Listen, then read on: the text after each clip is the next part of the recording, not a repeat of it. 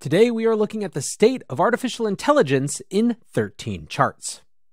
Welcome back to the AI Breakdown. As you probably have garnered at this point, I am a sucker for a big think piece, especially if it has some numbers or data or anything that we can comment and react to.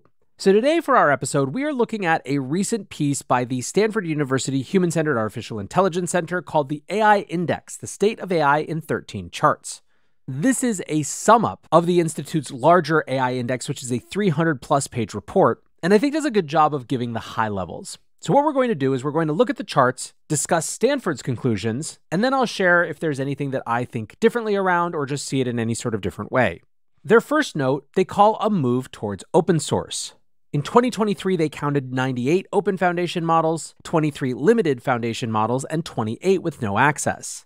They noted that of the 149 foundation models released in 2023, which was itself double the number released in 2022, 65.7 were open source. That compared to only 44.4% in 2022 and 33.3% in 2021.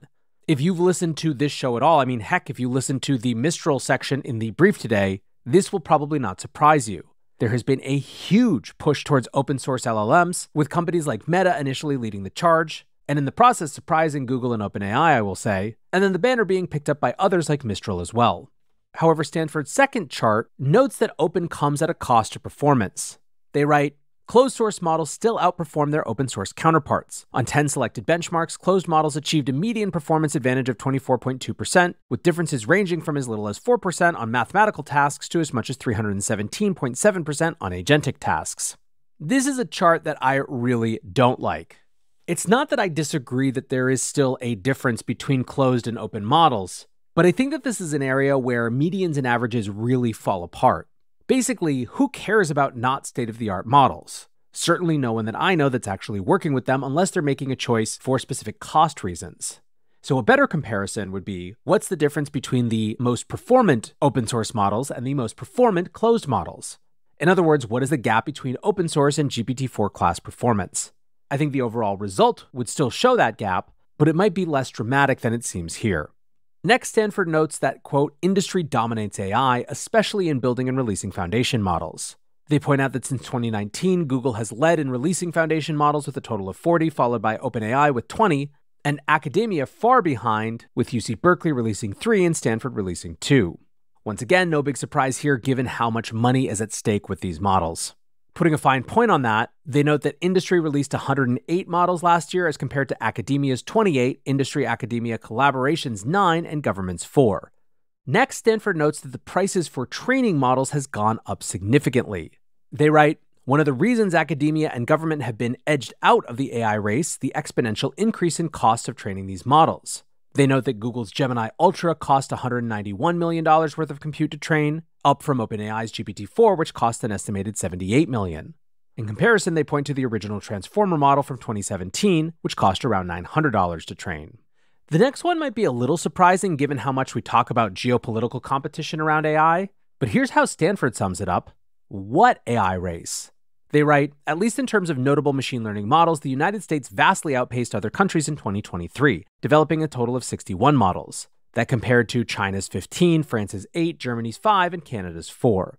I do think that these numbers are telling and important. However, I think that what's more of interest to people who are looking at the race dimension of this is less the number of models and more, once again, the state of the art and the performance of those models. In other words, to people who care about this race, it wouldn't matter if the US released 100 times more models than China if China released the best models.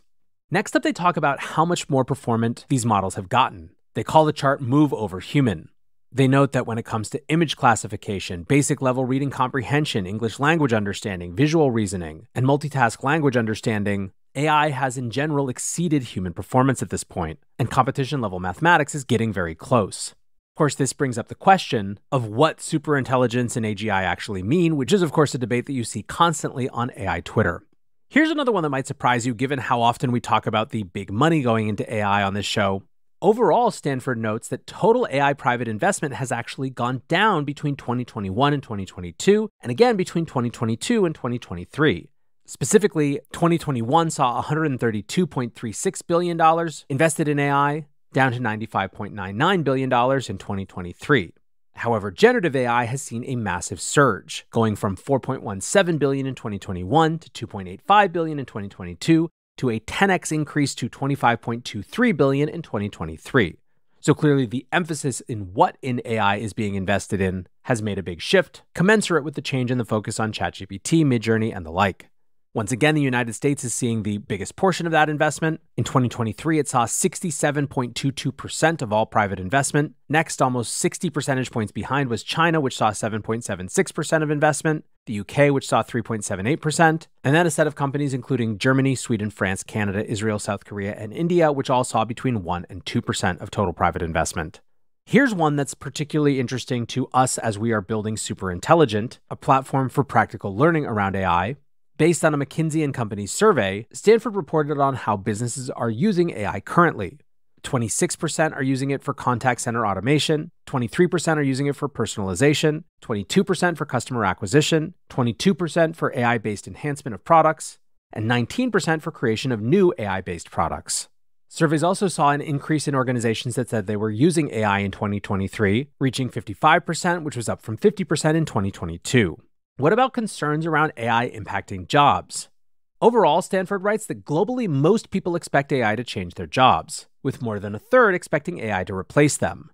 Gen Z and millennials are anticipating more substantial effects, with 66% of Gen Z compared to 46% of boomers believing AI will significantly affect their current jobs.